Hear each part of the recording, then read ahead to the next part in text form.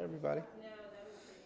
Welcome to the Committee of the Whole meeting of the City Council. Today is October 27th, 2021. This meeting now comes to order.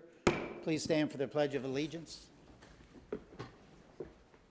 I pledge allegiance to the flag of the United States of America and to the republic for which it stands, one nation, under God, indivisible, with liberty and justice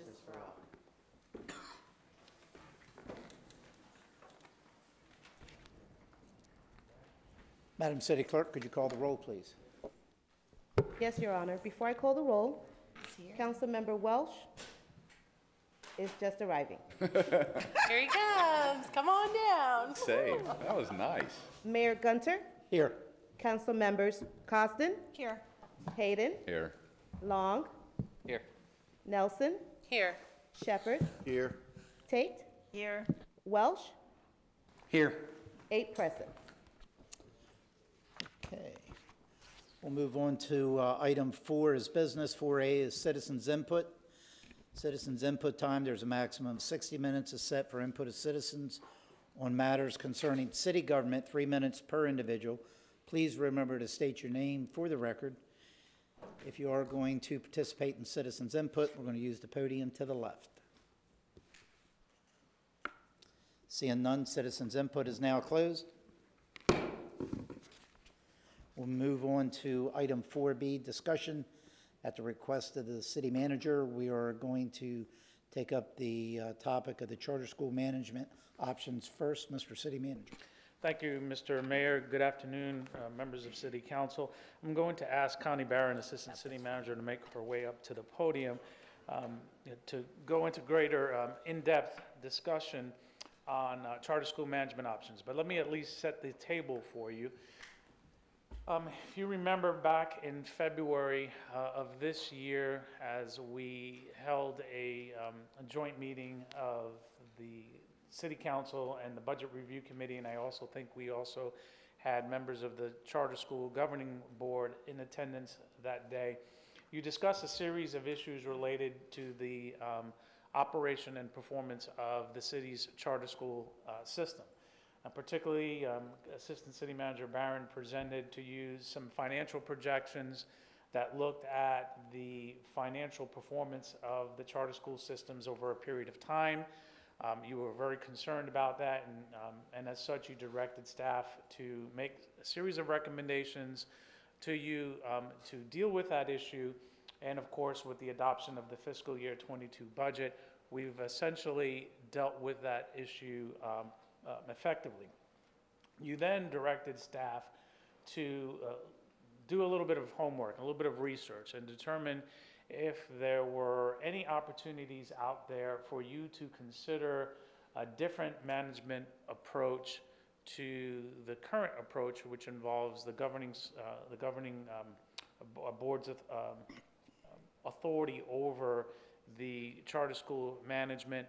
You directed staff to look at providing more of the adminis, administr, uh, what I like to call administrative slash back of the house um, functions, meaning maintenance, um, information technology, things of that nature, so the charter school can focus on what they do best, which is education. And they do a fantastic job at that, as evidenced by the recent uh, performance reports that, that we have seen. And then lastly, you asked us to, to go out and determine if there was uh, any interest in the marketplace to consider an alternative management approach, which would be to essentially to contract with a third party to come in and provide the management services for the city's charter school system. And so what we are are doing today, Mr. Mayor, is essentially reporting back to you on that assignment that you gave us. And that is, is there any interest in the industry to provide uh, management services for the charter school system? And with that, I'm now going to turn it over to uh, Assistant City Manager Barron, and she can uh, fill in the gaps. Thank you. Thank you, City Manager. Um, Connie Barron, Assistant City Manager. As the City Manager just spoke about, we followed the process uh, that was directed by City Council back in February. We issued a request for information to see whether or not there was any interest in, out in the um, community, out in the education world, uh, to come forward and do any management of the uh, charter schools. Uh, We received two, two responses to that request for information. One was from Charter Schools USA, and the other one was from the YMCA. The YMCA offer- uh, does operate a few schools in, in the area. Um, We reviewed the request for information, and both of this, both of these proposers are qualified to provide services to the charter schools, the type of services that City Council had asked about, as well as even beyond that, as the Charter Schools USA goes beyond that and even handles the educational part of it. Um, with the RFI, we're able to gather information on A, whether there are qualified um, proposers out there, and B, what we would have to do in order to get a quote or a more uh, idea what the cost would be. In order to do that, we would have to go out for an RFP, the request for proposals. So they provided us enough information in here that we could craft a request for proposals and go out, out and select or search for, um, uh, seek out uh, proposals from Charter Schools USA, YMCA, or any other entity that might have an interest in it. And that would have more uh, cost and let us know what, what it would actually um, uh, cost us to move forward with this type of uh, operation of the schools. Um, The question for city council is whether or not you want to proceed on that, on that route. And the reason we ask that question is because doing a request for proposals is staff-intensive as well as proposer-intensive. There's a lot of work that goes into putting together requests for proposals and RFP. Uh, It could be a minimum of three months before we would have that put together, probably longer, and it would be several more months before we would even have uh, any type of proposal that we could pre- present to council. At the same time, we have moved forward, as council directed us to do, to begin uh, taking over, for lack of a better term, some of those back, the back office type work, where we're doing more of the, um, the custodial services, the IT management, some of the financial management. Uh, We're maintaining the buses, so we're trying to um, let the charter schools focus on the things that they do best, which is educate the kids. And you can tell by some of the reports that we're receiving that that's, that's something that the charter schools do very, very well. Uh, we have very high-rated schools, they're very respected schools, and our teachers and the administrators do a, a wonderful job with the kids. What we're doing here in what we call the year of transition is we're looking at the operational side of it, and we are taking a greater role in that. We can continue to do that, and we can also still do an RFP if that is the council's desire. Um, But that really is a discussion that we would like to have with city council and to find out whether or not they want us just to proceed as we have been um, during this transition year, evaluating the services and see where we can go from there in partnership, or would they prefer that we go ahead and do the request for proposals and look for an outside entity to actually uh, run and manage the schools? And by, by the way, on an RFI, request for information, you cannot award uh, any contract based on just an RFI. You do have to do a request for proposals. So I'm here to answer any questions from that standpoint. Wanda Roop is here to answer any questions you might have with regard to the RFP process. And I know that uh, Superintendent Collins is here as well. Thank you. Councilmember Cosden. Thank you, Mayor. Connie, do you recall, I think it was 2018 or 2019, we went through this process. We got prices, I think, from at least two private management companies. We sort of wasn't an got, we sort of RFP. got, s- I'll say we sort of got prices. They, was- yeah, I, Charter Schools USA was one of them, but we really didn't get a detailed pricing from them. Um, Because at that point in time, there wasn't a big push. I, I know this was when uh, John Szerlag was still here, too. Uh, So we had gone out and we'd asked Charter Schools USA. We met with one of their representatives, and they, they provided some information, but they were not real forthcoming on giving us any really concrete pricing. That's why when you see on the RFI, you're not seeing any concrete pricing on that either. They're, you're, they're giving us an estimate somewhere in the 15% range of, of um, the, the cost of, uh, of providing those services, that 15% of what the uh, revenues take in, what they take in. So we did go out and we asked the questions, but we didn't get really concrete price, and we got some really rough estimates. And those rough estimates showed that it would have been grossly irresponsible to go that route. So I'm not gonna support an RFP. I don't wanna give our tax money to a for-profit charter school, uh, management company. So I'm very against that. Yeah, and just for clarification, so you know, it wouldn't be our quote, uh, it's it's sort of our tax money, but it actually does come out of the FEFP 's money from the state. Yes, our So, collective yeah, tax money. Right, exactly, So yeah. I won't be supporting that. Thank you. So, Councilmember Tate. Thank you. Thanks, Connie, for the information and having reviewed those uh, two plans with the RFIs.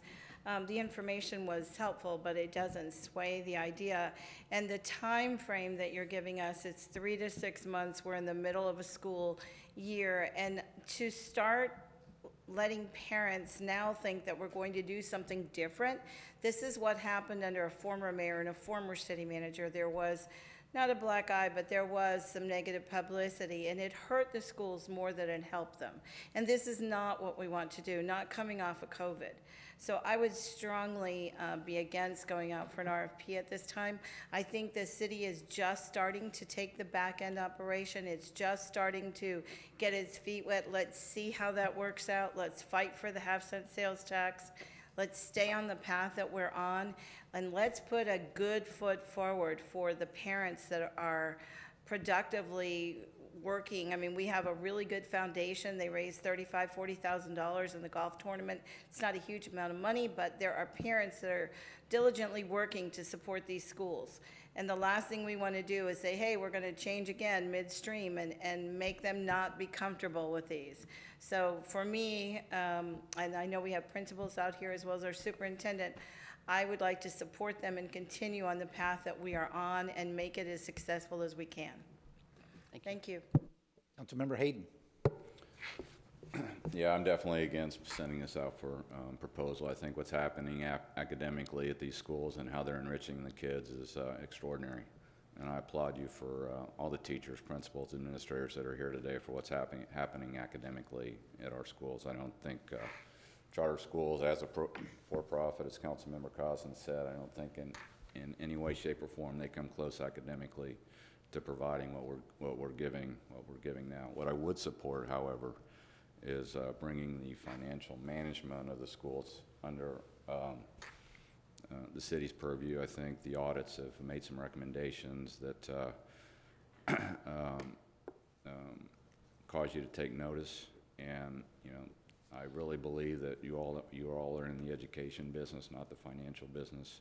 So I think uh, uh, the assistance should come from the financial side, but academically, um, please continue your good work. Thank you. Councilmember Nelson. I guess I look at it differently. Um, I, you know, I don't even, I mean, I, I remember what Councilmember Cosden was referring to when we did get some information from Charter Schools USA, and it was not um, financially feasible, didn't make sense. Um, the YMCA, however, I'm very familiar with that organization, know that they've had multiple years' experience in running charter schools, and given that we are potentially looking at bringing them into our community, I think it's a good possibility. Um, I go back to the feasibility or the sustainability study that the former city manager did that showed a bleak outlook. And although I know, you know, we're hoping to get money from the half cent sales tax, um, you know, that's just not a sure thing right now. And so what I don't want to see happen is that we are caught again in a situation where there's panic mode and, you know, there's talk, uh, uh, you know, amongst individuals and, and the schools and the parents and, and council and everyone in town um, regarding, you know, oh my gosh, we're going to have to close a school because we don't want to do that either. I mean, these schools are, have proven to be, you know, stellar schools in, in our community. I just don't know that um, our city should be managing all of it. I like the idea of offering this, uh, potentially looking at uh, this nonprofit, especially the YMCA, because they are financially um, sustainable. They've got tons of funding and funders. They've been around since the late 60s. Um, you know, they span uh, support over over three counties, And I just think it's worth looking, looking at. So I would support an RFP, at least, um, you know, for sure with the YMCA. Um, and, and maybe there's other contenders out there that we don't even know about. But having looked at these two, um, hands down, I would support the YMCA, just investigating that and looking at it, because everything that I've seen in the almost five years that I've sat in this chair and the two years I spent um, on the governing board for the charter school uh, showed, you know, us a very bleak outlook in terms of sustainability long-term. And I just, I don't want that panic mode in our community. I don't want that panic mode with our parents and our staff.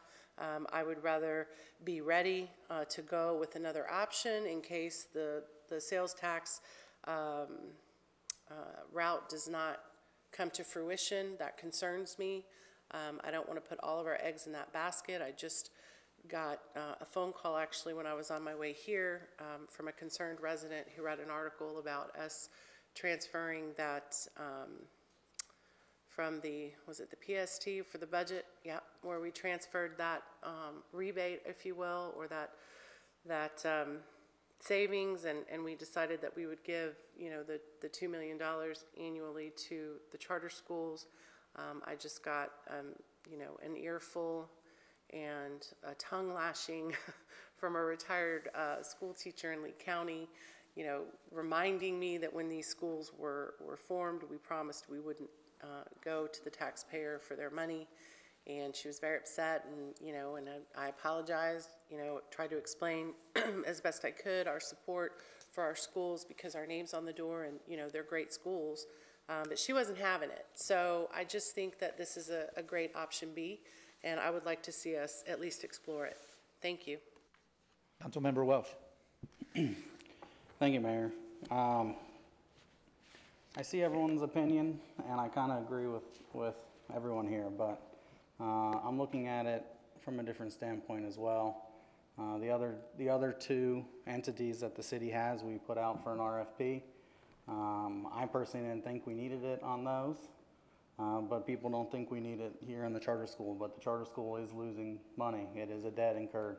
We did just take away an exemption to help cover the debt of the buildings, I believe, not, not to cover the charter schools themselves, because I believe we're not taxing. For the schools, we're taxing to cover the debt on the building. So we do have debt there, and we're, as a city, on the line to pay for it. So I, I, I want to see how with the city managing the financials. I like what Tom said, that there was some audit stuff that came through. Uh, I'd like to see how that continues to maybe enhance the schools and work on bringing their, their, not enhance the schools, but enhance the, the debt that, that the school has. So I, I do want to see an RFP. I don't know right now. I'd like to see how, how it works. It might be too soon for it. Um, I don't think it's going to get the support, but like the mayor said, uh, I want to see all the options in front of me, like he did with the golf course.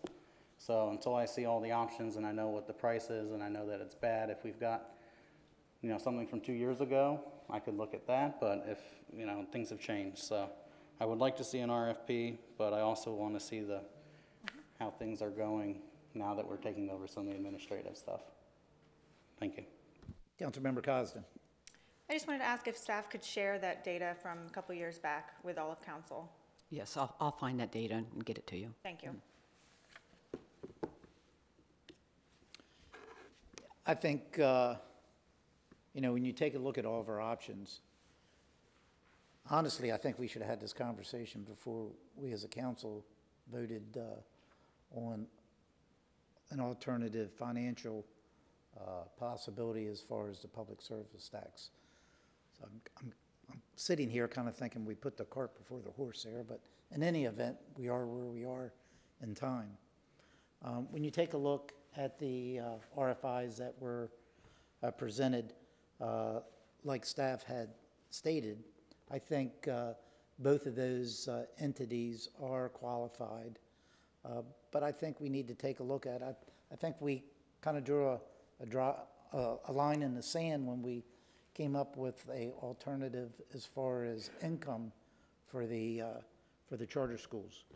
So in my opinion, I think we're past the question that you're asking for me. So I think that, uh, You know, when I was looking uh, at that a few weeks ago when we were having that discussion, in my mind, is that we would uh, keep control of the charter schools here at the city and look how we could help them financially. And I think uh, staff did a good job in bringing that forward for us. Now, with that being said, as far as uh, what Councilmember Welsh said about taking a look at P3s uh, or uh, any type of other uh, contractual uh, uh, obligation that we may have with any of our, our facilities, whether it's charter schools or the golf course, I think you have to uh, look at that on a case-by-case basis and see what's, what's the best for that particular topic. Uh, So when I take a look at this, uh, I'm in favor of moving forward with the city keeping control uh, of the charter schools. With that being said, uh, I think what we need to do is take a look at what's going to be the city's responsibility and what is going to be staff as far as the charter school's responsibility. As mentioned today, they're doing an excellent job uh, as far as the educational aspect. And I think that's what they're good at, and that's what they should continue to do. And I thank them for the hard work that they're, that they're doing.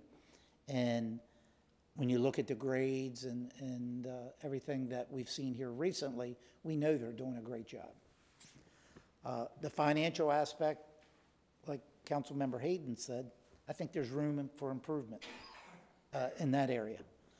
So I think when you take a look at some of the things that I know staff has identified in the past, whether it's the Human Resources Department, uh, IT, facilities, transportation, whatever that may be, if we're going to take over control in those areas, then I think one thing that we have to do is take a look at uh, Chapter 26 that governs the responsibilities uh, of the charter schools and what their responsibilities are and what the city's responsibilities. If we're going to move forward in this partnership, is what I will call it, uh, between the charter schools in the city, I think we have to make sure that it's crystal clear of what the charter schools' responsibilities are and what the city's responsibilities. And that only, that goes to say with the charter school governing board and the city council. We have to make sure that's crystal clear, uh, because I would hate to go down a path, and we may come up with an understanding now, but we have to make sure it's specifically spelled out in chapter twenty-six, no matter who sits in these chairs, or who's, who the superintendent is, or who the governing board members are. We have to make sure it's extremely crystal clear of what everybody's responsibilities are. So if we're going to go down this path, uh, I think uh, sooner rather than later, we have to identify those responsibilities and make sure we put it in ordinance form similar to what we did earlier on with chapter 26. So I'm okay moving forward. Uh, I appreciate the work that staff did on the RFI. I received enough information myself when I looked at the two uh, proposals, uh, and also uh, realizing that we had just uh, identified an additional revenue source uh, for the charter schools. Um, I'm okay with moving forward and keeping control of the charter schools at this time, but with the caveat that we identify each party's responsibility and make sure that we move forward in, in that fashion. So that's, uh, that's how I see it. Councilmember Nelson. Thank you, Mayor. Um, Madam City Attorney, if I recall, 2017, 2018, Councilmember Stout, who sat next to me, um, asked for a second, help me out if y'all remember. She asked for a second to work on Chapter 26 to make sure it was in line and that it was updated. Did that ever come to fruition that you recall? Chapter 26 has not been, I don't think it's been revised since that time. It was, it was, I think it was put as, as part of a um, multi-tiered effort of approaching the charter school issue, one being its financial situation, um, another being looking at the lease, which we have reason to believe you will probably be seeing come before you the restructuring of the lease. Um, I believe for introduction, I think at the second meeting in November and probably for public hearing in, uh, your first meeting in December, and then chapter twenty-six. Um, and certainly, there are some changes that could be made to chapter twenty-six.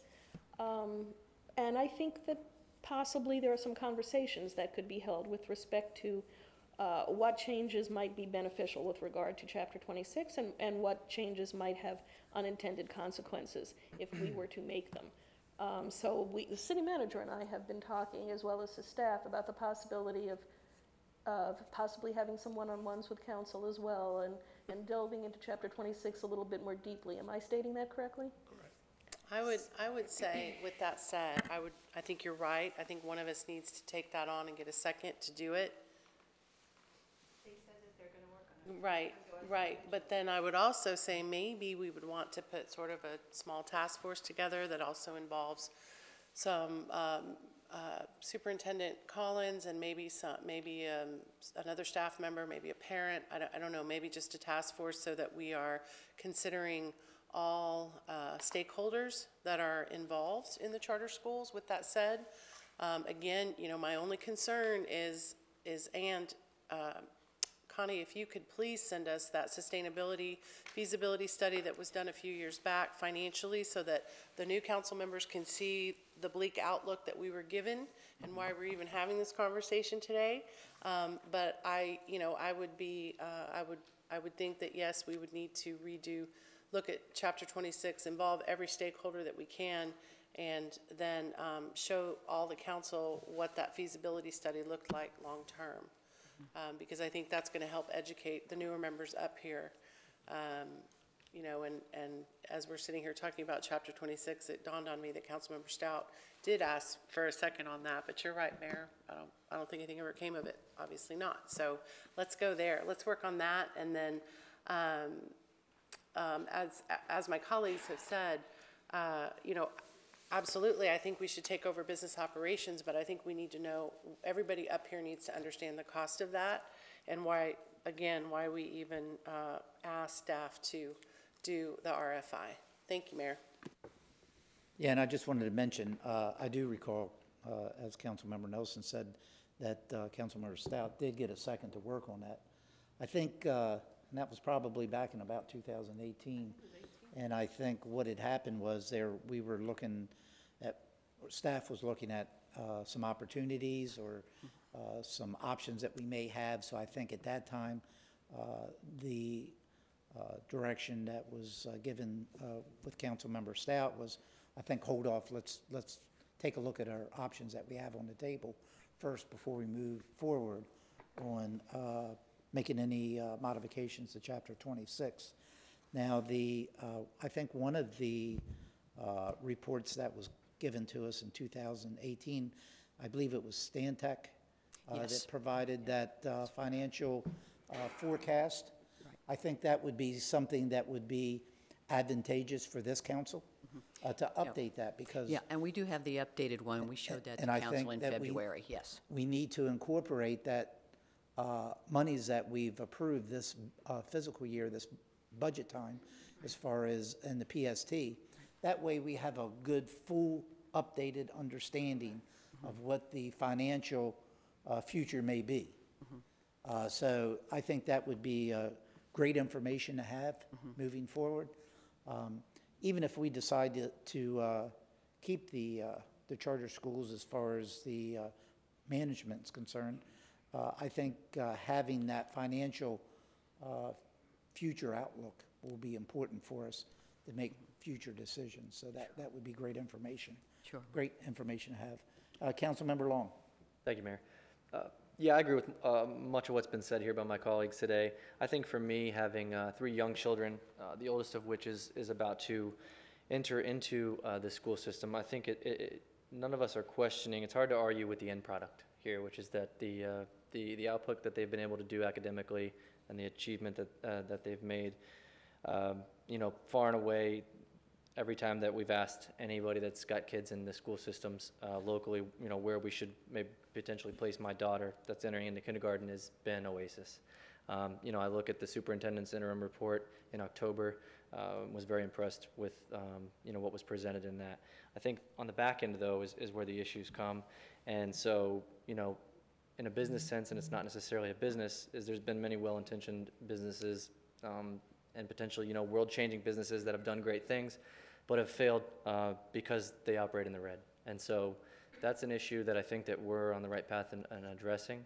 Um, I'd be interested in following some of what's been suggested here with regards to making sure on the back end that those issues are, are buttoned up and we're not just continuing to throw cash at it to patch the leak. And, and rather, I think we should put some efforts in place to um, fix the leak. So I think uh, we're on the right direction. At, at this point, I wouldn't be um, on board with, with going towards an RFP. Uh, I think we continue down uh, the road that was been discussed with regards to Chapter 26 and, um, and those discussions. Thank you.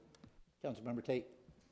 And Just on chapter 26, um, I think that the idea that uh, the city attorney and the city manager are working together, having conversations, and then they're going to meet with us one-on-one, and then let's see where that is before we get the stakeholder group. And the stakeholder group should have a board member from the Charter School Authority and the superintendent, possibly principals, but we're further down the line yet. I still think that we need to gather information and meet with them one-on-one, and each of us see what we put in there. And I would just ask council to please take the word bleak out of your vocabulary when you're talking about the charter schools, because um, that can become a headline that our parents really don't need to see. Thank you.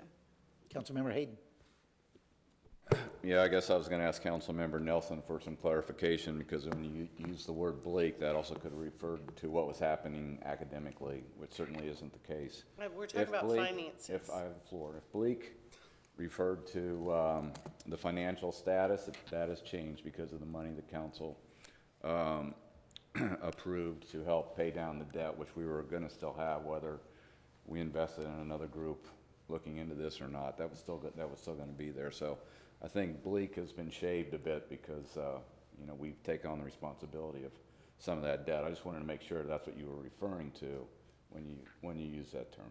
Hundred percent. Councilmember Sheppard.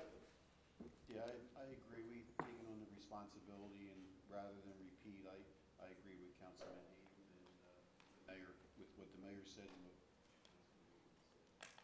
Oh, thank you. Sorry, my mic was off. No, I'm, uh, I'm in agreement with what the mayor has said and, uh, Councilman, uh, Hayden has said. So I don't want to repeat everything, but I'm in agree, agreeance with their, their path. Thank you. Okay, I don't see any other lights on. uh, Mr. City Manager, you get the direction you're looking for.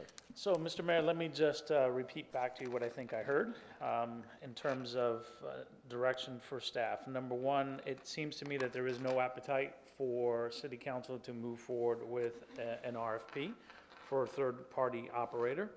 Um, You do want us to continue our staff-level efforts to revise Chapter 26. And then based on the conversation here, once we have that initial draft, then we come back to you for discussion. And at that point, you'll, you'll give us further direction in terms of whether we move forward with um, organizing a group of stakeholders to begin um, reviewing the draft uh, revisions that come out of the Chapter 26 um, review process. Um, You asked us for additional information regarding the 2018 um, uh, report or framework that was put together, um, I think, between Mr. Szerlag and Superintendent Collins. You asked us to also work with Stantec to update the financial projections to reflect the, the new um, fiscal realities of, of the charter school system, which um, are, are stable now. And they're stable going into the foreseeable future. So that's the message that I definitely want to convey here, that the finan, the charter school is financially stable for the foreseeable future, due in part to the decisions that you made as part of the FY twenty-two budget process. So I've heard all that. We will begin working on those assignments. Um, just thinking out loud here, I'm thinking that maybe we bring this back to you, and certainly with the financial projections from Stantec, um, we're penciling in for late January, a um, winter retreat slash budget kickoff. And um, this might be a suitable moment, since we're going to be talking about things that are financially um, related, to bring it back to you during your winter retreat. So that'll be late January. That's what we're going to strive for, to have all this infa- information complete and ready to go. If we can get it to you sooner, we will certainly do that. But for now, let's plan on, you know, another discussion like this for, for that winter retreat. Does that sound good? Okay, and before I move on to the next topic, uh, since uh, Superintendent Collins uh, came to the meeting and, and your staff, I want to give you the opportunity, anything you would like to add to the conversation that uh, maybe we hadn't mentioned up to this point?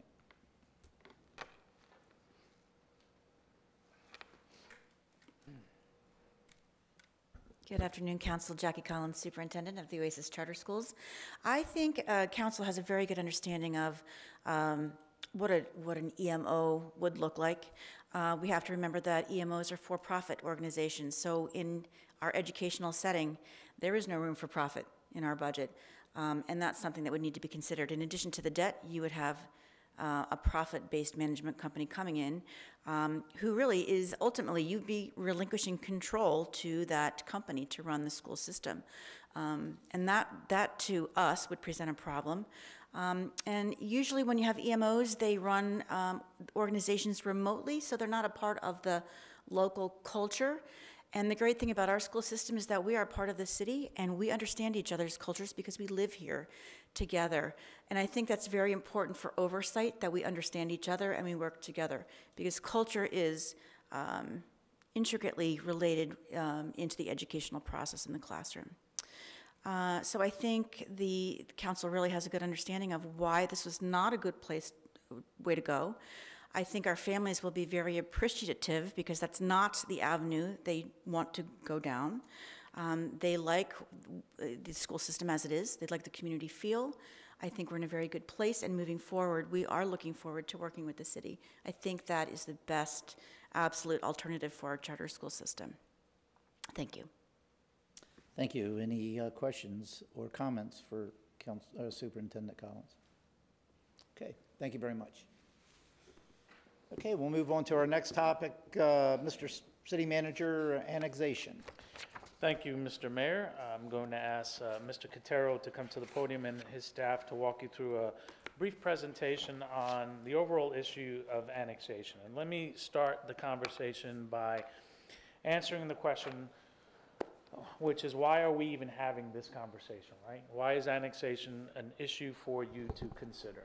Um, It's an issue for you and has been an issue for, for the city because we have, um, in the city's development over the last 50 years, have um, been stymied or have had to make decisions, um, even though we have pockets of unincorporated areas that are completely surrounded by the city of Cape Coral, um, that you have no influence or no ability to um, help govern. So you don't, do not have the ability to um, address land use issues in these areas. Um, You don't have the ability right now to provide them with utility services or public safety services. And in fact, you've had to go out of your way to bypass these areas in order to extend um, vital infrastructure to other areas of the city. And one can argue that in some of these um, enclaves, some of which are developed and have a, a, um, a, um, a scattering of single-family homes, and others are undeveloped properties. But one can argue that for those areas that are developed, the residents in those areas are using city-funded services and infrastructure. They're getting the benefit of city services and infrastructure, and they're, and they're not having to pay for it because they're completely surrounded by the city of Cape Coral. And they've got to drive on streets that are maintained and, and operated by the city of Cape Coral. And again, they don't have to pay for it. And so I think there's a, the, the, the broader issue here is what's right from a public policy perspective and what's fair in terms of whether these um, isolated um, and geographically separated from um, their municipal service provider. In this case, it would be Lee County government acting as a municipality rather than as a regional government. That's who their municipal service provider is. And so the question is, is it fair, is it time for us to once again have this conversation like we've had in the past, um, to address this issue, to, number one, ensure that city services are provided and funded equally amongst those that benefit um, from those services. And it helps us address the issues that we're dealing with in terms of planning for infrastructure investments and for the provision of services on a daily basis. And so we're going to have Vince come to the podium. He's going to lead you through a real quick discussion on annexation. We have our fire chief here, our police chief here, our department directors, and they can speak to you firsthand on the challenges that they um, have to endure on a daily basis when you're having all of these pockets um, that are surrounded by the city, and they're having to make decisions, um, uh, uh, split-second decisions as to whether they're going to send a police unit there or a fire unit there, um, because there is um, some confusion as to whether, wh- what jurisdiction that property happens to fall in. And so what we're trying to do here is have the conversation and get direction from council um, as to what direction you want to head in. And then we're going to describe for you the options that are available to you, and hopefully you'll give us some direction and we can start um, working on this issue if, in fact, this is something that you want to work towards. So I'm going to turn it over to, to Vince and Bob Peterson. They're going to give you a real quick overview of annexation, state statutes, processes related to annexation, and uh, then we'll answer any questions that you may have. Thank you. Thank you, Mr. City Manager. Um, As Mr. Hernandez said, these issues that we're dealing with are a little bit different than cities and counties have to deal with in areas where there is a lot of growth potential, where you've got rural areas or areas of cities that haven't been developed and want to annex more, or cities that are um, newly formed. This is more of a zoning and land use issues from our vantage point, and as Mr. Hernandez said, it impacts the services. There are three major issues here that we, we look at. One is the impact of services, two is land use of the property, and three is zoning. It's, it's a different type of issue than other municipalities may have to look at when they are competing for services with larger um, parcels of land in unincorporated counties or even in adjoining cities for that matter. So we're going to show a quick PowerPoint and show you these areas. Um, Mr. Hernandez used the term in his discussion of enclaves. Bob's going to go through that, tell you what they mean, give you the ins and outs of each parcel. In your packet for your reference, in your files, is a white paper that actually explains the terminology that we use that is grounded in state statute on what the rules of the game are and how you want to, um, and what you have to uh, play by if you're annexing land. But keep in mind as we go through this discussion that each one of these parcels is unique. And we want to assure, even if they remain in unincorporated Lee County, that there is compatibility with the county in terms of land use and zoning. And that can become an issue. You would think in a pure world that if we have a piece of property that's owned commercial and there's a piece in the middle, and then we have a piece of property on the other side, east and west, on a major road, piece in the middle is going to be commercial. That always isn't the case. So that's, that's where the land use and zoning process comes in. And of course, the other side is the services. But each one of these is unique, the configuration, um, the research that we've done, where billboards exist, because that's an issue in our, our sign code, as you know. So Bob's going to go through that, and as Mr. Hernandez said, we have our department heads here to answer questions on the impact to their departments, depending on the action you take. Thank you, Vince. Uh, Mr. Mayor, council members, Robert Peterson for the Commu- um, Development Services Department. I'm going to talk briefly about uh, the process for annexations, some of the background of annexations in the city, and then we'll uh, go and review the maps that show uh, potential enclaves and annexation areas are around. They're governed primarily by Chapter 171 Florida statutes. There are four ways in which a municipality can annex land into its, its its fold. By a special act of the legislature, that means the, we would work, for example, with our legislative delegation, develop a special act and detail the properties to be annexed, what the process would be, the legal descriptions for those parcels, and so forth. And if a bill was passed by both sessions of the legislature, um, both houses, and approved by the governor, then those properties would become annexed in to the municipality. It can be a voluntary annexation. Uh, You saw one of those very recently on your agenda. Uh, That's where the property owner petitions to be annexed into the city, and they're adjacent to existing city boundaries, and they meet the qualifications of not creating enclaves and other things.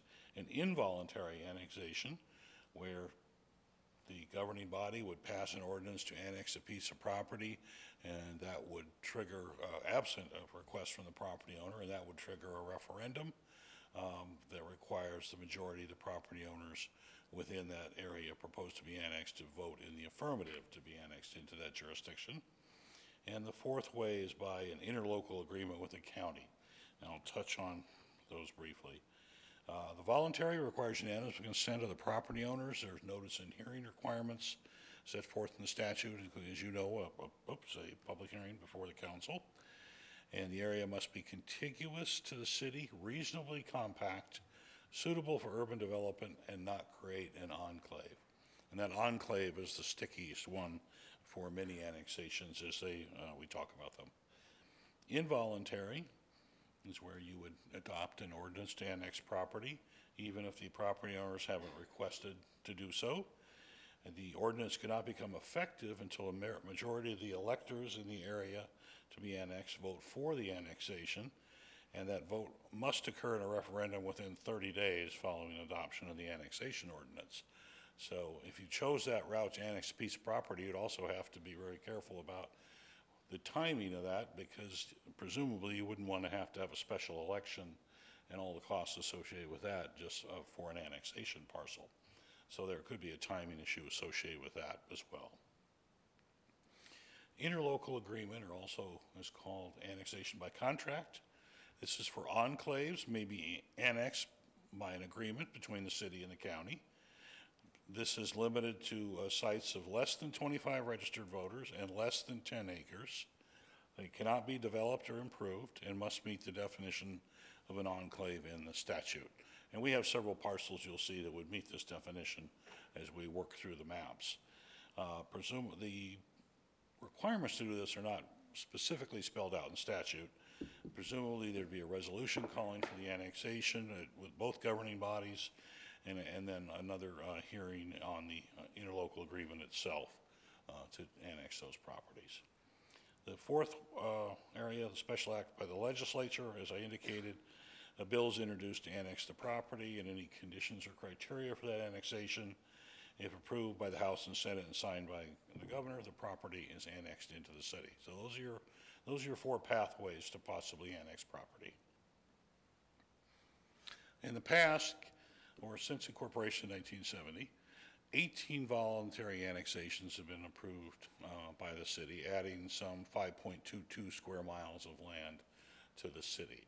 Uh, The largest of these by size, uh, what we call the Zemel property, is Zemel Northeast up along 41 and uh, sort of in the central part of the city and over towards uh, Burnt Store Road.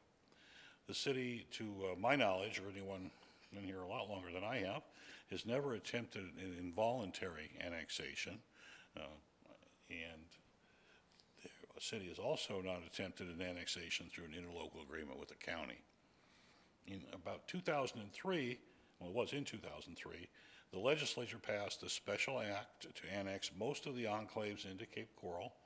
This bill was vetoed by the governor, even after passing both houses, largely due to opposition from the affected property owners involved. And that died, and, and nothing more was done with that. Um, Two recent uh, applications for annexation are under review, and we'll be reaching your uh, he- hearing here in due course. Both of these are enclaves along Southwest Pine Island Road. Following an annexation, it isn't all over. Uh, The property owner then must apply to establish a city future land use classification under our comprehensive plan. And once the future land use application is adopted, a rezone is necessary to have city zoning come onto the property rather than Lee County zoning. And then the annexed property would be ready for development, um, site plans, building permits, whatever the case would be to, to move forward. Um, A lot of the property in Lee County is uh, in an agricultural type classification, the the enclaves that we have. And as Vince was mentioning, that can be a, uh, kind of a disconnect, if you will, if you think of a, a- a busy arterial roadway with the- city is slated for commercial type development, and then you have a piece that's slated for agriculture type development, those uses, and then you pick up with a city again. So it can create an inconsistency in your land use pattern. We're going to run through a series of maps, and we, we show the enclaves, and we also uh, show areas that are adjacent to the city that uh, may be considered enclaves or perhaps areas that one day may want to annex into the city. We're starting at the western edge of the city on Pine Island Road. Um, uh, Working from the left, you have Matlacha Isles, a fully developed subdivision that is surrounded on three sides by the city. And um, that's, hit that button, I apologize. That's the first item. Then there's an area just southeast of there, uh, right where Veterans Parkway comes up to meet Pine Island Road. The first two parcels to the west of Veterans Parkway are in the city, but then the remainder of that property is in the county. And there have been very recent discussions with a potential developer who's very interested in developing that property to the west of the current city boundary. Um, But that enclave there, where there's a, uh, a landscaping type business, I believe, and a church, um, um, were not part of the property that the developer is considering, or not all of that property. And to annex part of it would create an enclave. So there are active discussions going on that we've heard about between a potential development entity and the property owners there about uh, potentially uh, annexing some of that property. Then moving uh, to the east, the parcel outlined in green, that is a pending application for an annexation at this time. So that would bring that property in, so the, the four corners of that intersection at least would all be within uh, city land use, city zoning, and, and uh, other city controls. To the south of that is uh, Royal Tee. You're aware of that. That's a large golf course community that is in an unincorporated county. North of Royal Tee, you'll see a very uh, non-consistent pattern there. There are uh, individual parcels that are in Lee County, uh, a few of those, then there, uh, there's a- some that are in the city, then a finger of land that's uh, entrance to Royal Tee is in the county, and so forth. So you have sort of a, a mixed match there as you move across uh, the north side of Royal Tee. Properties are in, the properties that are not. We have detailed parcel level data on every one of those parcels if you want to get into exactly which one and what its status is. But, so there's a, some enclaves in there for sure uh, that could be looked at. Moving further to the east, on the north side, you have a, a two parcels there that are immediately west of the FP&L property that um, sort of used for outdoor storage at this time, and those are in unincorporated Lee County, and those are certainly an enclave uh, that could be looked at for annexation. A little bit further to east of that, the, the large site, which is often known as the mall site, apparently there was a mall proposal there some years back. There is a, a piece of property there that uh, outlined in green that is in process for annexation. That's under the same ownership of that larger piece of property just to the north of it. And then just to the south of it is the other uh, piece of that property that was not included in that application when it came in. To the south of that, you have you have two parcels that with frontage on Pine Island Road that are in unincorporated Lee County with city boundaries on all four sides of that. And then you have what's uh, the enclave of Saddlewood Farms, and that's a rural residential sort of subdivision. They're outlined in red, uh, generally five, 10 acre parcels that are in unincorporated Lee County. Now, if you go north quite a bit from where we were, up Old Burnt Store Road, and then a little bit to the east is uh, Sand Road, and there are uh, a total enclave of six parcels there that, uh, in Lee County. I guess they were opposed to the city, uh, formation of the city, original incorporation, and were left out, or they desired to be left out, and they're not part of the city. And also a little further east of that, on Nelson Road, just west of Nelson Road, are four, uh, again, agricultural type parcels, three of which have uh, residences on them that are in unincorporated Lee County. Everything around them is in the city.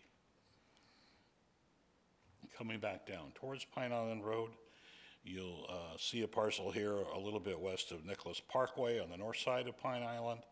Uh, That is an enclave that is is in unincorporated Lee County, and that also has one of the sites that has a billboard. Then as you move quite a bit further east, um, the very northwest corner of the slide here is Pine Island Road, northeast Pine Island Road, and then Pondella Road, uh, going through the middle of your slide. If you look there, there's a, a sort of a rural type old subdivision where it's mix and match, it's a checkerboard. Uh, all the ones outlined in red are enclave parcels in unincorporated Lee County.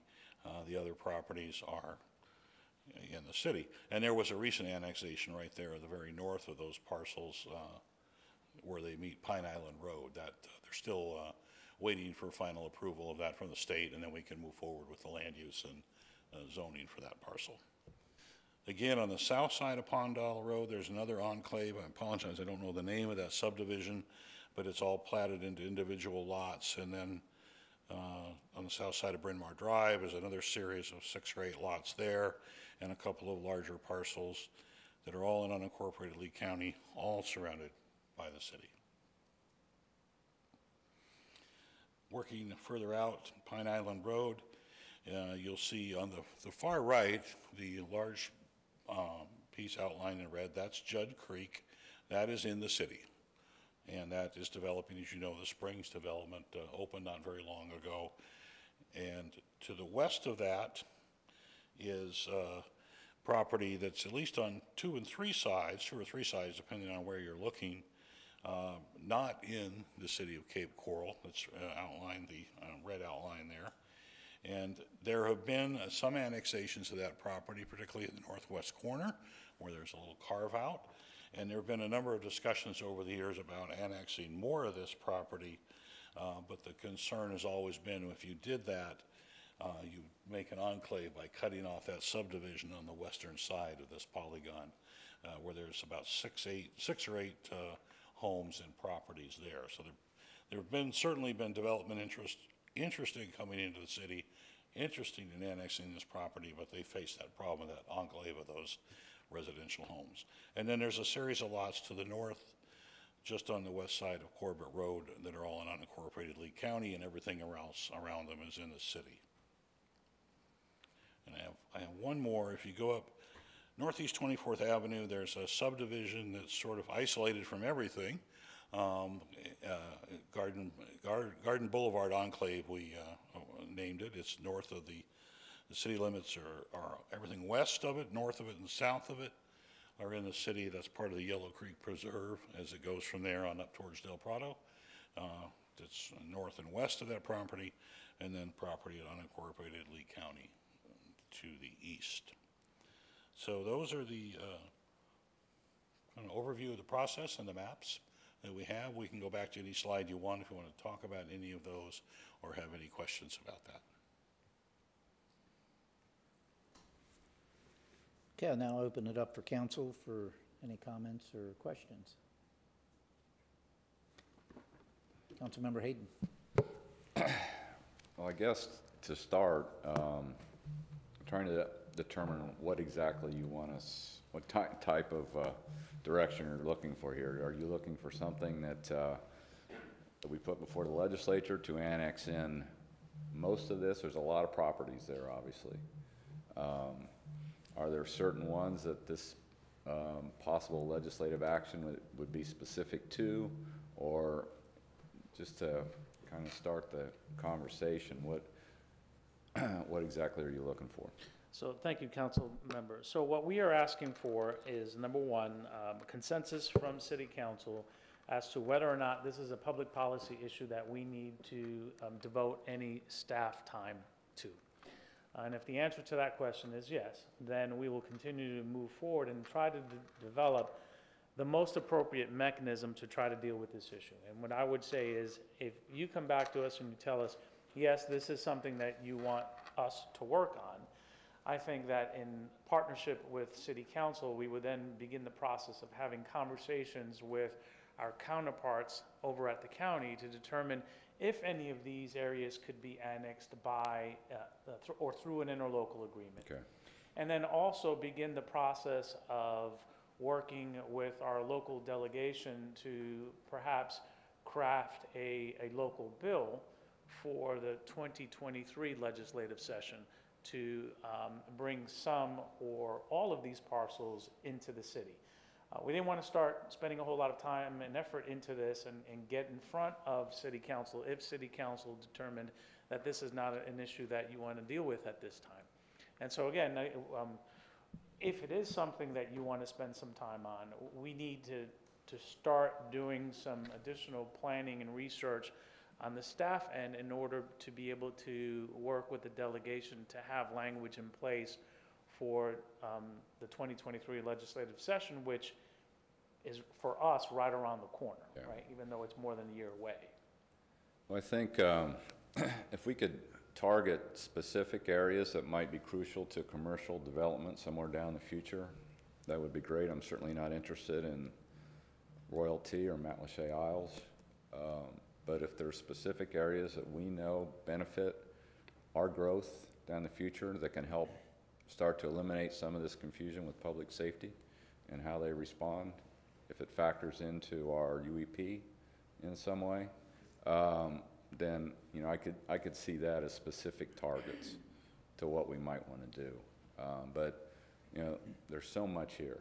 Um, Without specifying exactly uh, the benefits to any of this, um, I think it'd be very difficult for us to agree on wanting to bring it all in. In fact, I think it'd be impossible. But, so, that's all, Mayor.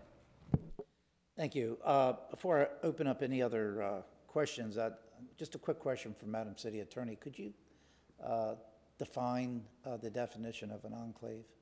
So council is uh, crystal clear on that.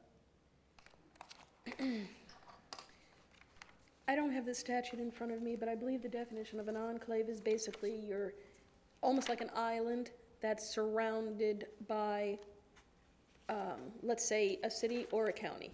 Um, it- The statutes that talk about annexation contrast that with like a pocket, um, and, um, and they never define pocket. We have interpreted pocket as meaning, um, potentially that you're not entirely surrounded, so we wouldn't be creating an island, but that you might be like three sides. Some of what you see here, a lot of what you see here, would not be able to have been done today. Uh, These, uh, those properties, some of which probably are enclaves, were created at a time when the law was different, and you could create a city and leave county enclaves in your boundaries. You wouldn't be able to do this today. And the reason that I Is there a that, definition of enclave? Enclave is any unincorporated, improved, or developed area that is enclosed within and bounded on all sides by a single municipality, or any unincorporated, improved, or developed area that is enclosed within and bounded by a single municipality and a natural or man-made obstacle that allows the passage of vehic- vehicular traffic to that unincorporated area only through the municipality. And the reason that I asked that question, you know, you, you look through this presentation, and I think some of these property meets that criteria that you just uh, described, where all four sides are surrounded. And you look at some of these properties that have question marks, uh, and I would say that they're not totally encompassed by all four sides. So my recommendation would be to move forward on the properties uh, that have all four sides, where there is basically an island i- in the middle of the city. And I think that that should be the methodology, uh, if we are going to go down this path, going forward, that all four sides must be encompassed by city property. Uh, The other, like Royal Tee, some of the other ones, Matlacha Isles, it appears that all four sides are not encompassed. Uh, So maybe, uh, I think we have to develop what the methodology of, of the enclave and how we're going to approach it. And that would give staff the direction I think that they're, that they're looking for. Additionally, as we all have heard here, is there's basically four vehicles that we can utilize as far as annexation. Uh, As we all know, back in 2003, that uh, we uh, attempted to use the legislation uh, process, uh, which is what I would agree with if we were going to move forward. Now, some of these, uh, you know, when you look at the definitions or the requirements in each one of those particular cases, one being the county, I mean, there are, there are certain criteria that you have to meet as far as the voter population and the percentages. So, you know, that, uh, that may be an option to us.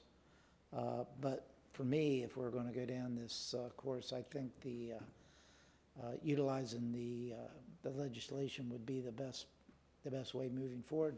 I will tell you that I spoke with one of our delegates today, and as the city manager mentioned, if we decide to go down that path uh, in a local bill, we have to have the support of the local delegation. Uh, The individual that I spoke with uh, stated that he feels that we do have that support through our local delegation, uh, but there is a criteria that we have to meet, a lot of information that we're going to have to provide to them to even get to that point. And I think that's why staff is looking for that direction today, because this isn't something that's going to occur next week. There's going to have to be a lot of data, uh, a lot of uh, research uh, that's going to take time. So I think that's why they're asking for that direction. Uh, So for me, uh, as long as all four sides are uh, surrounded by city property, I would, that's my definition of an enclave. Um, So if that meets the criteria on any of these properties, then I would be for uh, incorporating them at least uh, in the research moving forward for staff to bring that additional information back to us. Councilmember Tate. Thank you. Um, Just for my own information, the two chiefs um, that are in the back. So what happens exactly, can you tell us, uh, maybe future, to get some statistics on how much time and money we spend um, servicing, specifically servicing places like the enclaves on south of Pine Island Road, like Royal Tee, Matt Lachey Isles, and some of those? Um, What are your hindrances, and, and how much time and, and money do we spend out there? Lamb, Fire Chief. Um, So, fire department's a little bit unique. Uh, The, the city covers 120 square miles. Uh, The fire department through uh, the Lee County Burnt Store MSTU covers 140 square miles, an additional 20 square miles roughly um, of what we call OPA, or other protected area. Um, And you can kind of see that it covers the county line, Burnt Store Marina, most of the Yucatan, uh, Sanctuary States, Eagle Road there to this area near Gator Circle. So that's uh, some additional area that the fire department covers in addition to the piece on Sand Road, um, the piece on Whispering Pine Lane. So we contractually provide service to um, those pieces of unincorporated Lee County through that agreement. Now, certainly to other areas like you see here, um, we provide service to German American Club. Pine Island Matlacha Fire Department provides service to Bubba's Roadhouse, Saddlewood. We cover the Publix. Eh, There's this hopscotching as you see that. And as uh, you go to the other end of Pine Island Road here, you can see, for instance, Hibiscus Drive, in some cases, it's literally every other property. And so in those situations, um, right now, it it is difficult on dispatchers to determine which resources you send. And so um, we don't have what we call auto aid agreements. We have mutual aid agreements. Uh, And, and the difference between the two is that they can't, Lee County cannot dispatch a fire department unit. They have to go through us, and then uh, we determine uh, the appropriate resources to send to the call. And because that's if that resource is available. Where mutual aid, uh, again, they, they call us, we say, yes, we can provide the service and go versus just sending one of our trucks there. Uh, The reason for that is that some of our areas, we would routinely be providing service to areas that are not part of the city of Cape Coral. And so we're fortunate that council has provided us with a robust fire department, and those, some of those communities haven't decided to do that. So we don't want to routinely- provide service to areas that aren't the city. Um, And one of the dangers in sending, let's just send everybody, um, there's not about sending every resource to every call, it's about sending the right resources to the right calls, right? Because then when they're tied up on that, um, there's that other car accident or heart attack that comes in that we can't respond to, or we have to send a truck that's further away. So there is um, problems um, with some of these enclaves, especially if I look into this next one here. We cover all the way out to uh, that Jug Creek area. And uh, again, when we're, when we're literally hopscotching property to property, that gets um, dicey for what we can, what we can do there. Certainly, we want to be good neighbors, uh, but there is a um, hindrance in, in what we can uh, provide service-wise. Thank you. Tony Sizemore, Police Chief. Uh, Very similar in what the fire chief said as far as the hopscotching. Uh, We were a little different in that our situations can go from benign to very dynamic very quickly. And if you're in the wrong property, essentially not in the city of Cape Coral, and you go to uh, what could be a verbal argument into a hands-on situation or worse, we run into some legal challenges where we, we're not in good standing on the soil that we're in. Um, we also run on a metric, as you guys are aware, of response time to priority one calls. And when there's confusion about, is this in the city, is this not? Um, for t- 24, almost 25 years, I've heard that chatter on the radio a lot. of, Is that ours? And our dispatchers have to double check and geo-verify. And when you're talking about emergency situations, seconds count, and that's, that's happened from very low priority calls all the way up to um, finding remains of a human to determine who investigates uh, this crime. So it does become cumbersome for us. Um, It's a, it's a reality that we have to teach our new people, but uh, as growth has really exploded in the north end, it's becoming a more prevalent challenge for us. Thank you. Yeah, that is a concern. Um, So I would be supportive of moving forward with, um, as the, did you want to? I just wanted to interrupt you for one Oh, second before you go down the road that, that you were going down. I wanted um, either Jeff uh, Pearson or Paul Clinghan, actually Paul Clinghan, to come to the podium, because you heard from the two chiefs. And so um, I'd like for you to also hear from your um, infrastructure chief in terms of what problems or headaches does that, does this gerrymandering of boundaries present him as he's now trying to sit down and figure out North One and the UEP master plan. Right. And, uh, and just like this presents headaches for the two fire chiefs and hopscotching over properties, it's the same issue with utilities, right? And so we're running water, sewer, and, and reuse lines in these areas, and we're having to jump over properties. And so it's inefficient, and it presents all kinds of issues. Paul?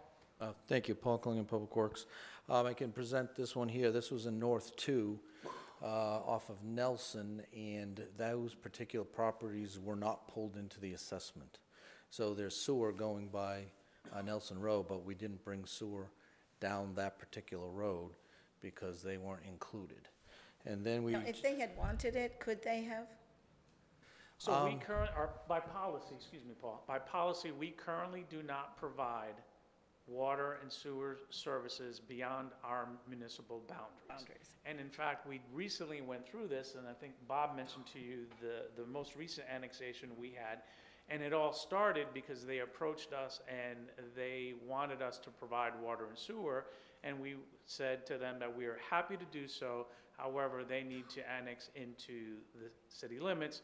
There was some debate going back and forth between the two parties there for, for a while.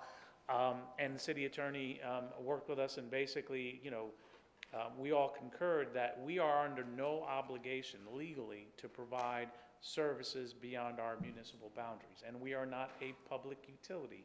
We're a municipal government. So um, we were well within our rights to um, uh, essentially uh, decline their request for services and ask them to annex in, which I'm sure we would have done there in those four parcels that, that Paul mentioned in Whispering Pines. But, but I wanted to, to also mention this, that one of the reasons you are investing or about to, to embark on a UEP master plan that's gonna cost three and a half billion dollars or so, on top of what you have already invested in this city, is because ultimately, your desire is to have everybody on city water and sewer. That is your policy. Once you run city water and sewer, you require that those properties tie into that service within a specific period of time. Well, here, using the previous example that Paul shared, you have the utility lines going right down the street because properties on one side of the street are in the city and they are obligated to pay the assessment and receive the services from the city. In this case, there's two homes. And then you have homes, developed properties on the south side that don't have that same obligation. And so, again, it's a fairness issue. It's a, it's a, uh, it's, uh, for me, it's, it's about predictability. It's about ease of planning and ease of actually providing the services. Uh, So to expand on that, certainly from an engineering standpoint, point going by this, uh, and we have utilities all around there, so there's these properties here that have septic. And the goal would be is if, if these properties were annexed, we'd be able to assess them and provide them service. Uh, For example, we were just meeting, I'm sorry, going the wrong way. Uh, We were just meeting this morning, actually, on the North One uh, assessment. And you can see there's properties here that we'd have to wrestle with. We'd be putting, you, bringing utilities right by them, and we're not able to uh, pull them into the assessment.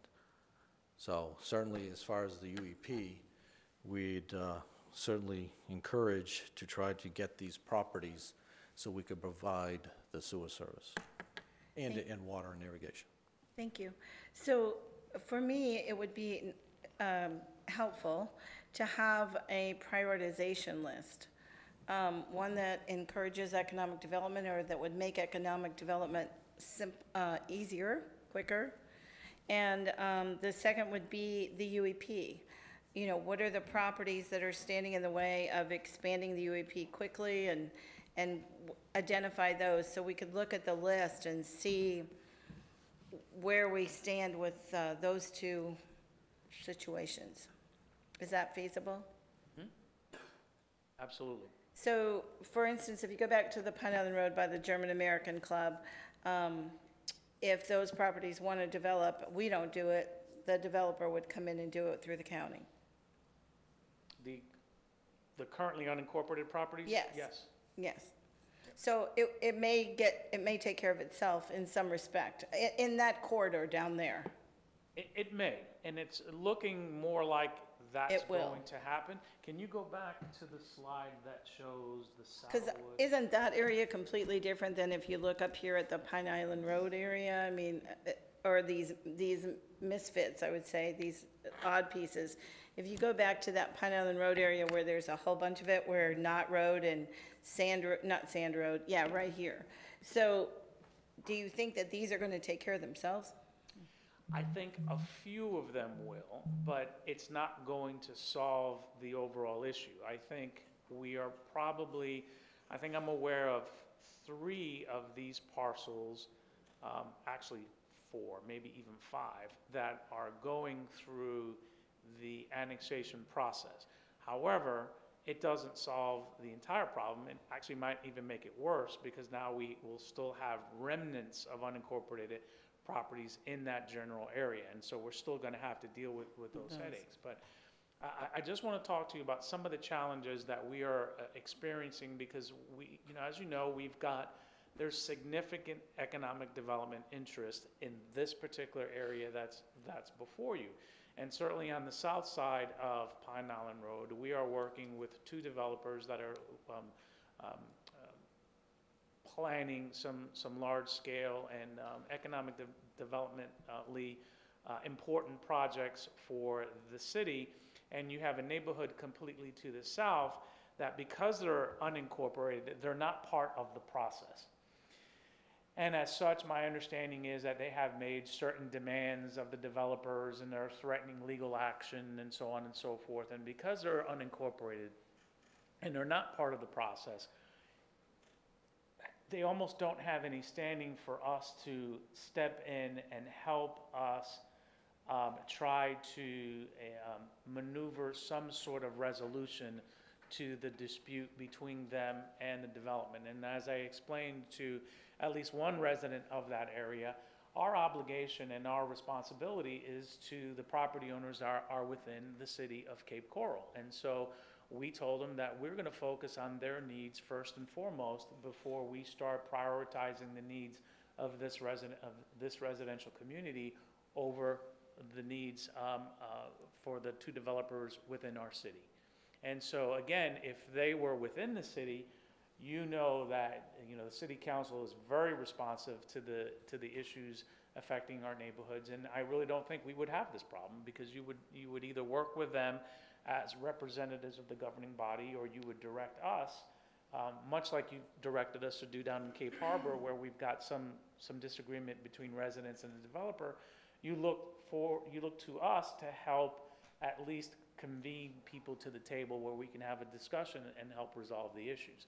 And so we're not having that there, and, um, and, and again, I'm hoping that this doesn't, you know, um, become full-fledged conflict that ends up delaying development along Pine Island Road, but again, our obligation is to our residents. And so Okay. that's a drawback to them that I, that I mentioned, you know, had you annexed into the city, you know, back in two thousand and three, you know, your voices would be heard, certainly, um, with staff and, um, not speaking for council, but I th- would think that their voices would be heard, um, b- by you because, you know, they're, they're your residents. Well, we did hear 2003 loud and clear. So I would say on the record, I am not interested in, in Royal Tee or Matlacha Isles. But if you could prioritize the other properties uh, for us, at least for me, um, as into economic development and utility expansion for the UEP, I would be interested in seeing So that. essentially, what you're asking for is a, um, an annexation strategy, if you will. Yes. And, and, and, and I'm glad you're giving me that direction, because that's exactly what we're thinking. And so we are happy to, to sit down and, and pencil that out for you and begin working on that, and then bringing, um, hopefully getting direction from you today as to how do you want to proceed uh, moving forward. Because if this is something that you want to bring before the state legislature in 2023, it- this basically means that we have to have all of our work done and appropriate cow discussions, and if we need to have public hearings and so forth, all of that has to be done sometime before September of next year. And So it's think about it, it's not a whole lot of time. So it's feasible that you could get us that information on, on the properties for economic development versus Yes, utilities yes, quickly? Yes. Okay, thank you. Councilmember Nelson. Thank you, Mayor. I'm not going to repeat what my fellow teammates have said. Um, Mr. City Manager, however, I, in addition to what Councilmember Tate said in terms of um, your annexation plan, if you will, um, I would also like to see the benefits in terms of how it's benefiting the city, how it's benefiting the county, like pros and cons, and how it's benefiting the residents or the businesses, say, you know, that we want to come in and, and annex, because I think that'll make it less controversial or maybe diminish a little bit of the conflict if we can show things like, like first responder, uh, service, uh, call time, um, time response. Um, and, um, you know, I just want to see how it's going to affect all the stakeholders involved. I think that's important, especially if we communicate this out moving forward. Um, I think it's just important. Um, to piggyback on what the mayor said regarding the enclaves, I agree, it's pretty clear cut. Um, interlocal agreements seem to be the, the, uh, path of least resistance because I think you can get, um, agreement. But again, I think it would be helpful to have, you know, those benefits analysis sort of, of these enclave properties, how it's gonna benefit all the stakeholders. Because I think it would be helpful, um, for us to see as well. So those are my thoughts. Thank you, Mayor. Councilmember Welsh. Thank you, Mayor. Uh, I'll try to be quick. I think that all the properties outlined in red, uh, that we didn't put question marks on, we should go ahead and go, go ahead and, and start the process. I don't see it being a bad thing. They are using city roads, they are using city services, and they should be within the city. So, um, one step further on that, if you could go to the picture that shows the piece on just Pine Island Road uh, near Nicholas, the one you had mentioned that has a billboard on it. I, we had that same issue with the billboard at the, the property that wanted to annex in and they had to remove it. I believe that the billboard company owns this property, so they're probably not gonna be happy that they're gonna have to lose their billboard to come into the city of Cape Coral, but is there a way that we can work with property owners to allow them to keep their properties the way they are, but then, um, still become part of the city? So where that billboard has been there for twenty-five years or twenty years, uh, what would need to happen in order to let them keep their billboard there, but then also not break our other code? So that, that would be a question, or maybe someone could look at, because they might, they might be willing to just voluntarily join the city if they can have that. Mr. Mayor, we, uh, well, certainly we could look at that detail. And what's interesting about this site, if you look at it, and we'd have to do a little more research for the actual surveys and property, but you'll see there's actually drawn in here two little, a little sliver of land, it's a separate parcel.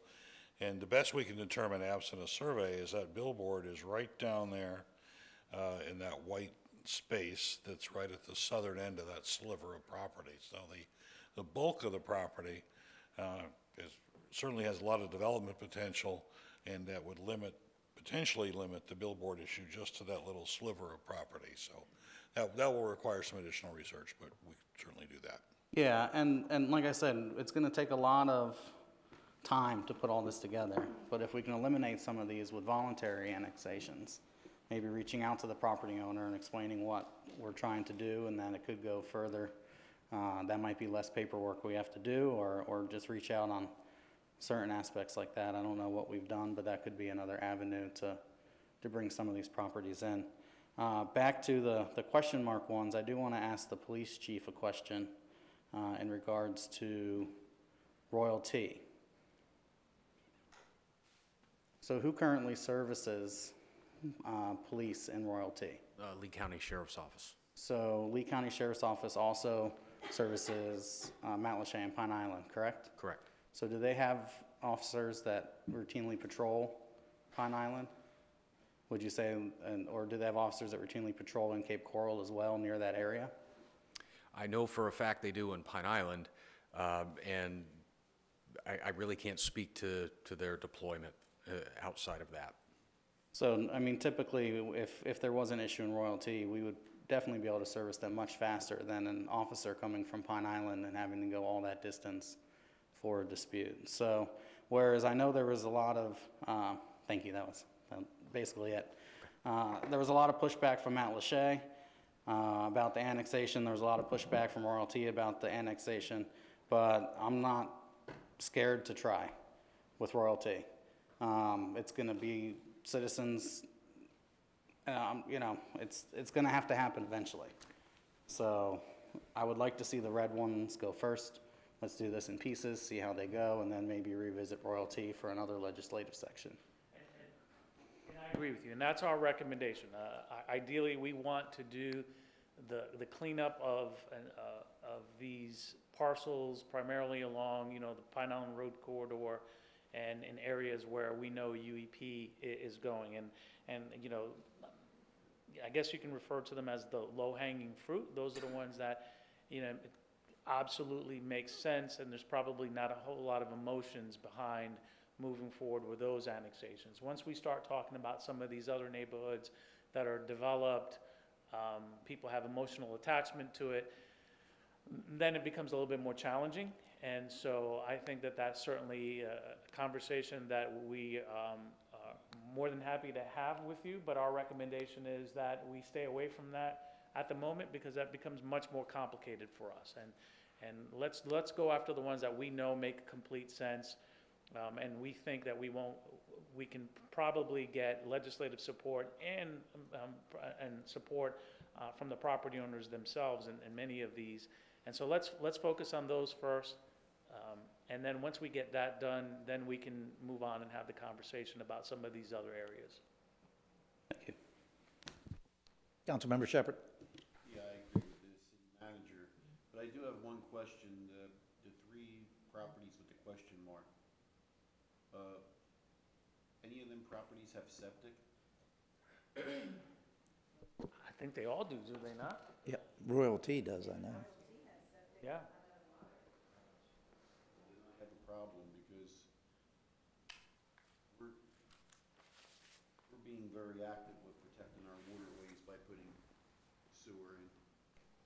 And have these properties basically in our city that will continue to pollute, could, you know, we get the, we're gonna, we're gonna be impacted by the pollution if, if they don't have a plan. So they're basically in our house and, and they're polluting and we don't have a say to take care of the problem.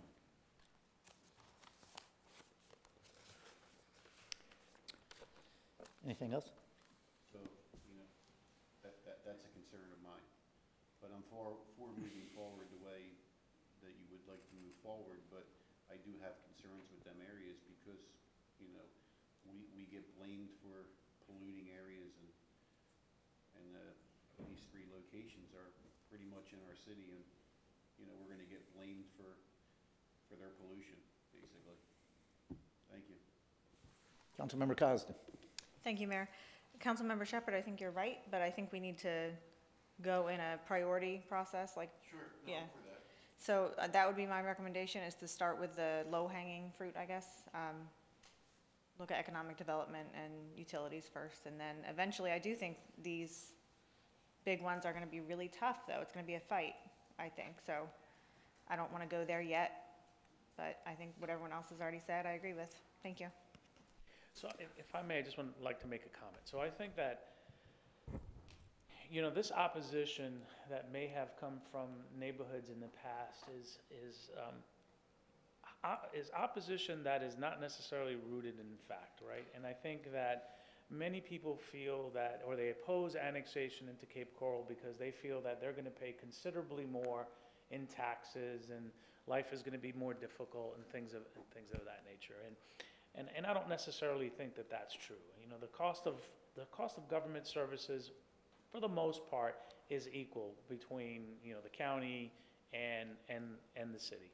What, what differentiates is the level of service that you receive, right? And so if you're in one of these neighborhoods um, and you have a choice between receiving services from the City of Cape Coral's Fire Department and its soon-to-be 13 stations and all of the resources that that comes with. And as City Council said, it's very important to you to have staffing of at least four persons on a fire engine. That's a higher level of service than some of these neighborhoods are getting, where in certain cases, they may have a fire truck show up with only two people, and that's all they have. And if it's a large enough incident, they're gonna have to call for help from somebody. And more likely than not, it's gonna be Cape Coral Fire that, that responds. And it's the same thing with police protection. Um, not casting any, um, uh, negative comments on the sheriff's office, a fantastic organization, but clearly Cape Coral has more resources available um, in proximity to these neighborhoods. And so it's all about service. It's all about um, ensuring, you know, uh, protection of development quality. It's also about environmental quality, as, as you mentioned. And, um, and that's something that's important to us because you are a provider of municipal services, whereas where they are now, they're not exactly um, in an organization uh, or being governed by an organization that sole focus is municipal service. And so I think we have to start chipping away at some of those um, um, um, misperception about what life in, in city, uh, in city, uh, in a formal city is like, and start chipping away of the fact that it's so much more expensive to be in city government, because it isn't. And as, um, when you look at the issue countywide, as areas annex slowly, you know, they, you slowly chip away at the unincorporated area, there will be a time where it is going to be increasing, increasingly more cost prohibitive for the county to be able to provide services in isolated pockets like this. It's one thing when you have large geographic areas of unincorporated communities, but where you're talking pockets like this, it becomes very expensive for the county. And eventually, that cost is going to be um, um, passed on to those very same residents who are trying to avoid those costs to begin with. So we'll work on the pros and cons and, and, and um, illustrate the benefits to residents uh, of those areas ultimately coming into the, into the city. Thanks. Councilmember Sheppard. Yeah, there's other things that we're not bringing up, like uh, uh, Royal Tee, uh, for instance. uh, I'm sure there's a lot of children that live there that use our charter schools. And the taxpayers of the city of Cape Coral are contributing to supporting the charter schools. So, you know, are these other areas that, you know, where they're, they're getting privileges but aren't paying for them? Or am I wrong? So with respect to the charter school, I'd have to look into that to determine if they would be eligible to, to attend the city's charter schools. Um, They, they cannot, You have residents of Cape Coral. Madam City Attorney.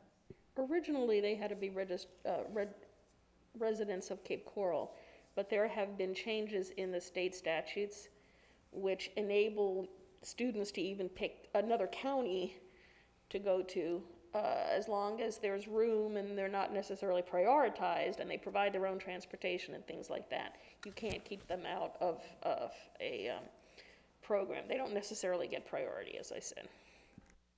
Thank you. Yeah, I think, uh, are you- are you done, Councilmember? Yeah, I I agree. I think this is uh, a a process that'll probably take several steps uh, moving forward. Uh, That's why I said originally in the beginning, develop that criteria of the first step and then move forward from there. Uh, For me personally, uh, at some point, you know, it makes sense if Royal Tee and some of these other, uh, Matlacha Isles, that was a good point that Councilmember Sheppard brought up about the septic systems. If you look at the, uh, Matlacha Isles there, one side of the canal is the city, the other side of the canal is septic. You know, so that is a, a- another concern. Uh, and I know that, uh, you know, we're spending millions of dollars each year in order to, to go from a, a septic to a, uh, uh, the sewer. So I think that's an important uh, point to make. So I think, uh, you know, I'm in favor of, of moving down that, this path, understanding that it's going to be several steps. Uh, And I think that, uh, you know, if you look at the economic uh, impact, if you look at uh, public safety, which is what the police chief and the fire chief had, had mentioned, uh, UEP, I mean, there's many, many factors here that I think that, that weigh in on this. Uh, And also, I think it's important to note, like uh, I heard earlier, if someone wanted to do, an- uh, incorporate a city today, some of these enclaves wouldn't be allowed, so. uh, You know, when you look back at some of the fights that some of us had mentioned back in 2003, it's almost 19 years ago. A lot has changed in 19 years. Uh, Our services have changed in 19 years. Uh, So I think uh, revisiting this in the future, I think, you know, it will come forward and we'll have to have that discussion whatever that point in time is. That may be while we're here, or that may be a future council. Uh, But I think that discussion will come up eventually. Uh, So I agree, uh, you know, to move forward now in steps, and I think that would be the, the best approach. Uh, Mr. City Manager, did you get the direction that you're looking for? yes, I believe so. Okay. All righty. Next item on the agenda is roundtable discussion. Uh, There's nothing listed. Uh, Councilmember Tate. Um, I had asked prior to, and I got a notice today from the Yacht Club uh, Project Park Update. I'd like to workshop that just a little bit on a committee of the whole. I'm quite concerned about closing down everything for two years. I know we've talked about it. Um, You had mentioned that you would bring it back to us to discuss. I had a conversation with the Kearns Group. It's completely different than um, he and I had, than what he said you and staff had. So I'd really like to air that out just a little bit before um, we get too far, because I guess this went out to the whole community that we're shutting everything down as of March 31st. So, yeah, I have some big concerns about that. So right now, Mr. Mayor, you're scheduled to receive the next Parks Geo Bond uh, quarterly report at a um, workshop in December. Um, Do you want to wait until then? We only have one in November, and that one's going to be dedicated to the UEP. Well, then we really don't have a choice. We'll do it in December. That's fine. I, it's too late now because this already went out. So I would have preferred it not gone out until we all had a chance to talk about it, but since it did, then let's just do it in December. I just want to do it before I start getting phone calls, since it's in my district, and everybody else's in that respect. So I guess we'll uh, break that back in December. I think we're all going to get phone calls either way. We are, Yeah. So it doesn't matter what, what choice we decide, how we're going to move forward, we will get phone calls. Yeah, yeah, so I think we do need, need to workshop it. But uh, maybe that's a discussion we can have in December Okay. and get staff's recommendation, uh, how they want to proceed on that, Okay. and then direction from council. Okay. Seeing no other uh, roundtable discussions, time and place of the future meeting, we have an executive session. A shade meeting will be held conference room 220A on Wednesday, November 3rd at 2021 at 3 PM regarding uh, I- IT security. Uh, The meeting is closed to the public pursuant to Section 281.301 of the Florida statute. Also, that particular day, uh, we have an exec, executive session, a shade meeting, which will be held conference room 220A on Wednesday, November 3rd, 2021 at 3:30 PM for collective bargaining. Uh, This meeting will also be closed pursuant to Section 447.605 of the Florida statute. And also, we have a regular meeting of the Cape Coral City Council scheduled for Wednesday, November 3rd at 4:30 PM in council chambers. Do we have a motion for adjournment? Second? Second. All in favor, say aye. Aye. Aye. Any opposed? Meeting adjourned.